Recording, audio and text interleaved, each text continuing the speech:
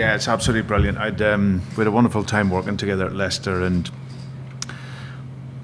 it was clear what we needed after Joe leaving, and that was someone who is at the very highest level, who's a competitor, uh, who's a winner, and uh, and obviously can really support and help this young group of players. And uh, there's nobody better than Kasper for that. So I'm absolutely delighted. I'm delighted for him that he's going to get the Celtic experience, which is.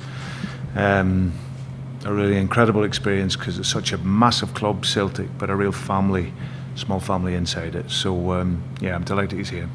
Yeah, absolutely buzzing to be here. To be fair, um, once I spoke to to the boss, then you know it, it, was exactly what I wanted. It was everything I've been looking for. Um, so uh, yeah, just really happy now to, to, to be here and just can't wait to get started.